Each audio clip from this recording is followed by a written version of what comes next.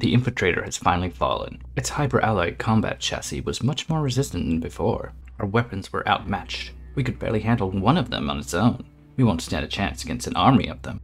But the real reason the Infiltrator was Skynet's best weapon yet was because of its skin.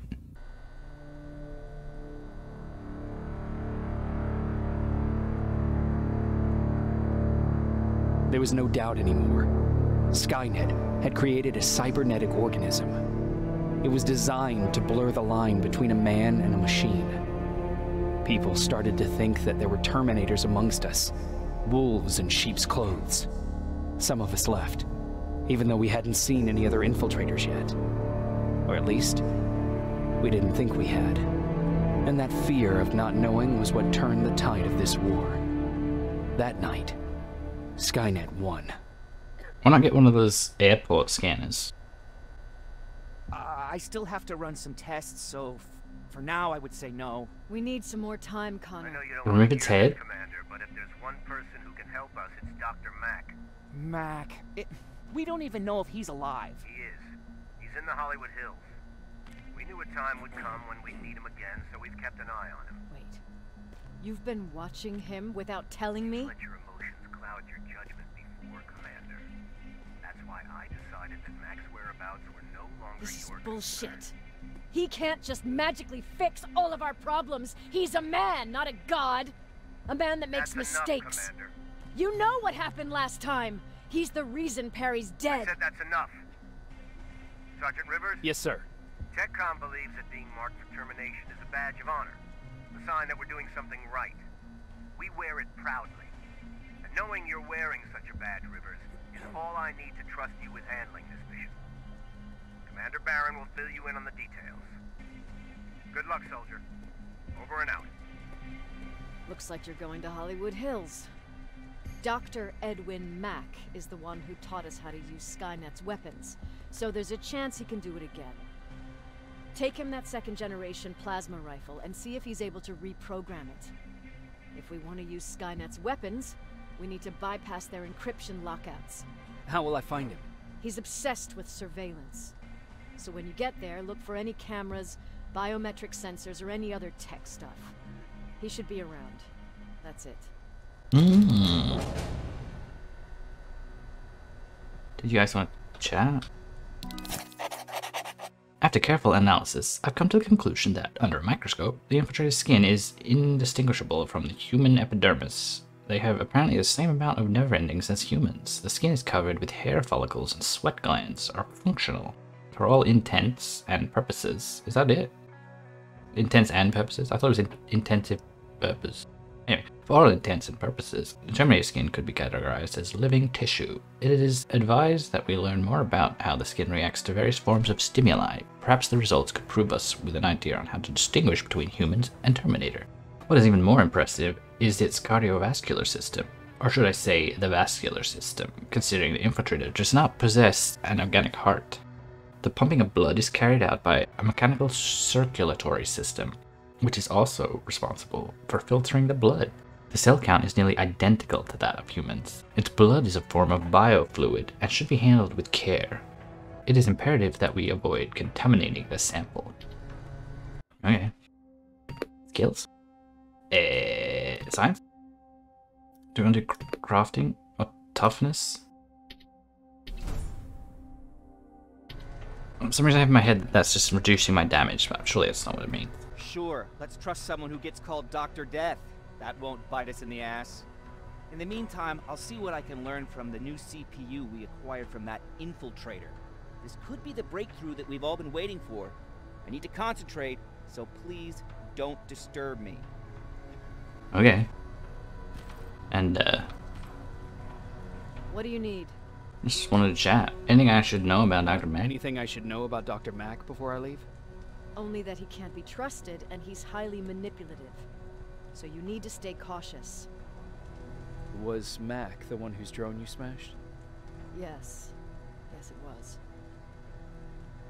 I've never told this to anyone, but before I met Mack and Perry, I was wandering alone. Didn't have a map, so I drew one myself. The first people I came across were two guys, old enough to remember Judgment Day, We camped out together.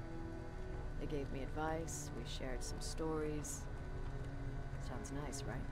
I guess. A little too good to be true. See, there are still good people out there. It was stupid of you to trust. See, there are still good people out there. They weren't good. Although, not cutting my throat in my sleep makes them more or less gentlemen. When I woke up, all my things were gone, including my map. Yeah. There I was, lost in the desert. Thirst and hunger. I knew I was gonna die. I passed out with my face in the sand. But next thing, I was lying in a bed, bathed and wearing clean clothes. You're lucky someone found you. Someone did find me. Too bad it was Skynet. Through the window, I saw thousands of Terminators. First, I thought it was a work camp, but it was something else. A Skynet research facility. They kept me alive, but I didn't know why. I thought I was the only human there. But after a while, someone came into my cell. A man.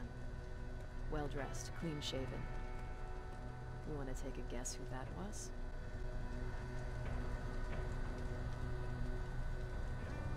One of those guys who robbed you? No. No. He was a traitor to his race. Bastard was selling every piece of knowledge the machines didn't have. In return, they gave him everything he wanted. When he was done stuffing his face with food, he had another request. He wanted a. It lasted months until I got to wrap a towel around his neck and make his eyes pop. No. You don't want to see people for what they really are. I've seen their true face. That traitor, those two guys in the desert, Mack, they all showed it to me. It's not pretty. The truth is, the only reason I fight for the Resistance is because I despise people just a little less than the machines. Oh, well, she was still happy that I questioned her awkwardly. Um, see, I thought she said Mack and what's his name? Perry found it first. But I was arguably not paying enough attention, as usual. do you have a minute? Sure. Of course. I've heard that you're going to Hollywood Hills. Well, with Baron yelling like that, the whole shelter heard. He wanted me to tell you if I needed anything, so here it is. When you get to Hollywood Hills, could you stop by my old house? It's near the Griffith Park tennis courts. I wonder if Peter went there and left something for me.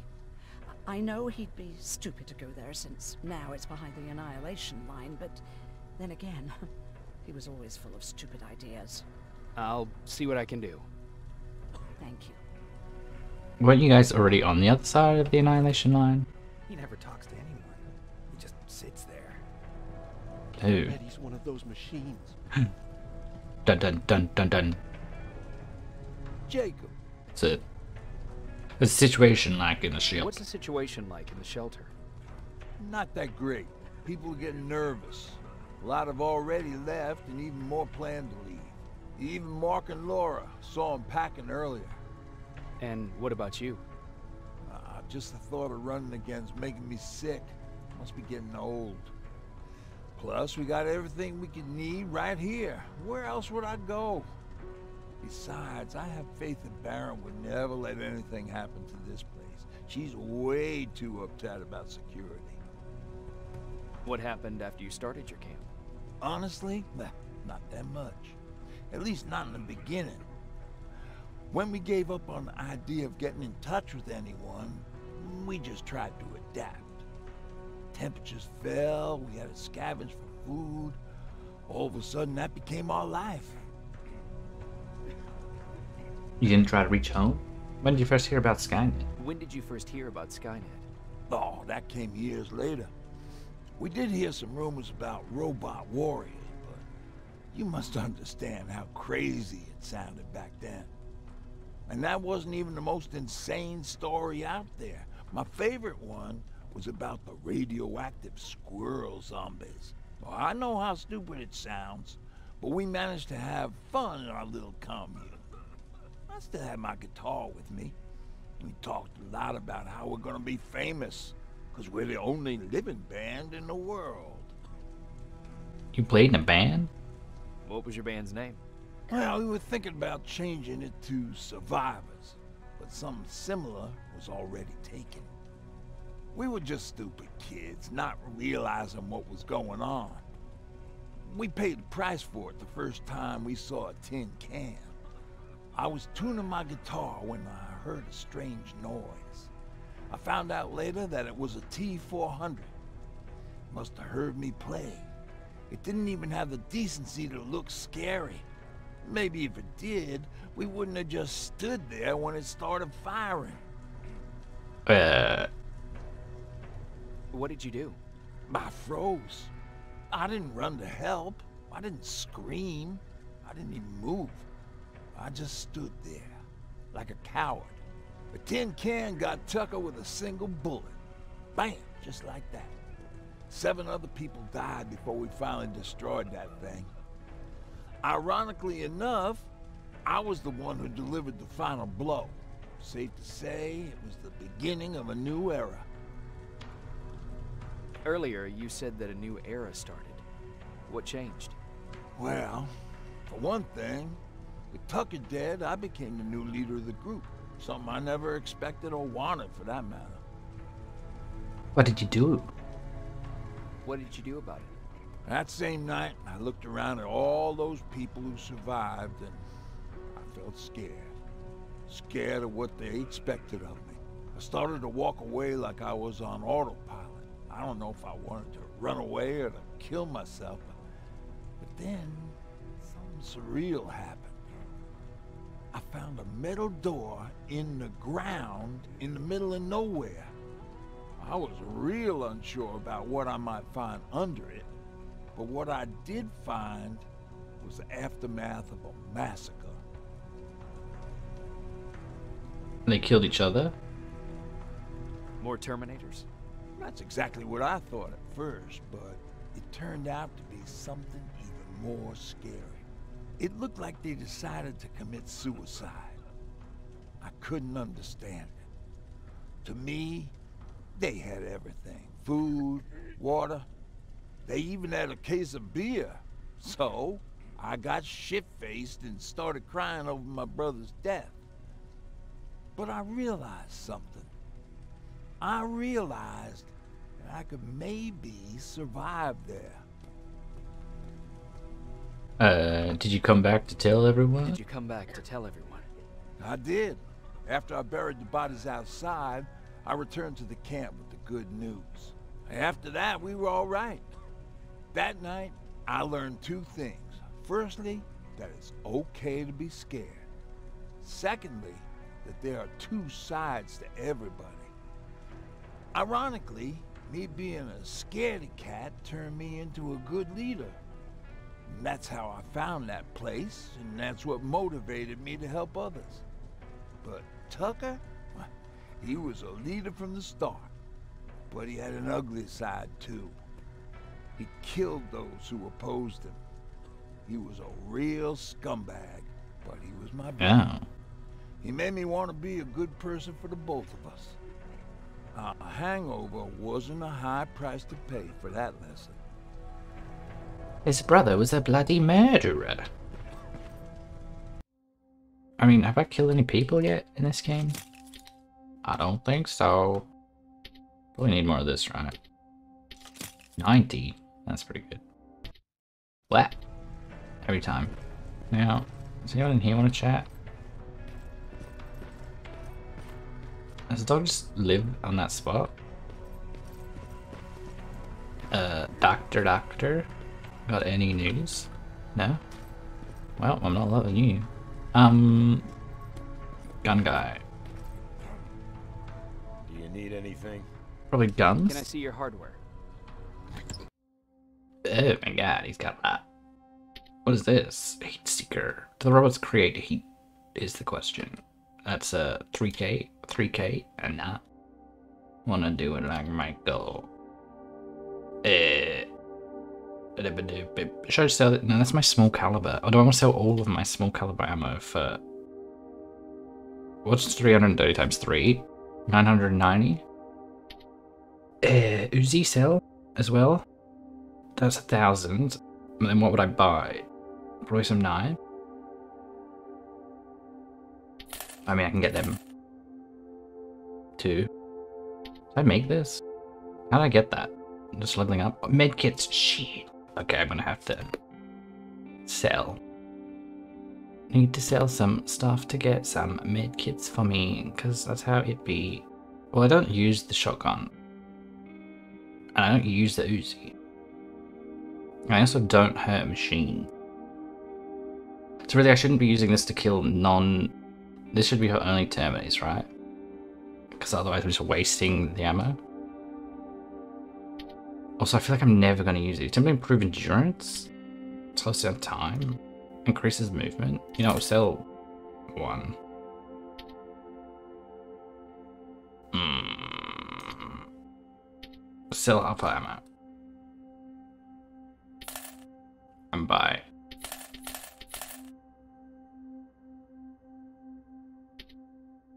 Do you want to accept? Yes. Um,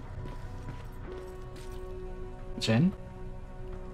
You're out? I didn't see you there. Uh, Where are you going? I'm going out scavenging. Don't worry.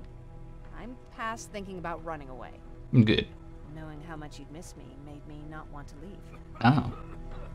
Where's Patrick? He's getting ready. I'm taking him with me. I figure it's time for him to see what's out there. Makes sense. Is everything okay? You seem far away. Nothing can get past you, can it? I've been thinking about the day we met. I never told you how we really ended up there. You can tell me anything. You don't have to do it if you don't want. You don't have to if you don't want to. No, I think I need this. It's been eating at me all this time. That day, loud hammering woke me up. When I came downstairs, I saw my father nailing the window shut. Through the crack, I saw them coming. Hundreds of metal heads and their red eyes.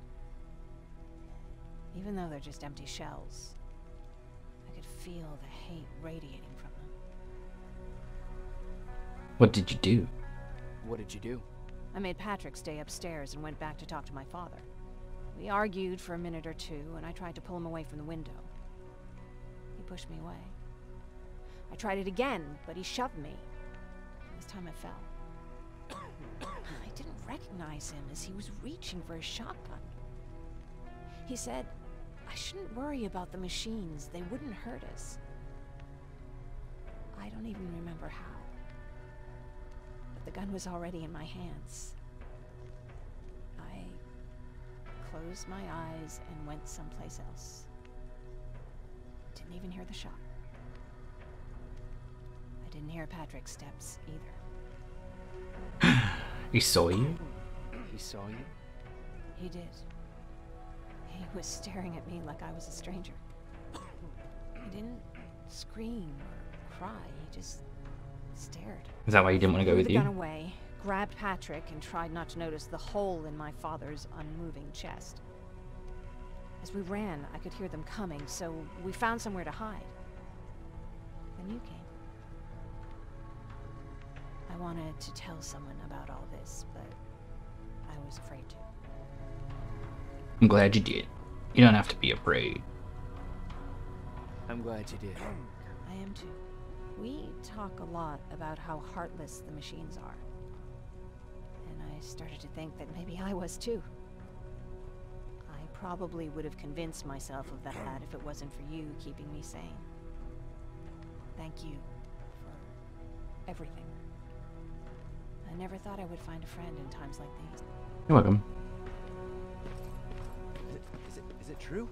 Does he look human now? Yeah, it is. What's with the dogs?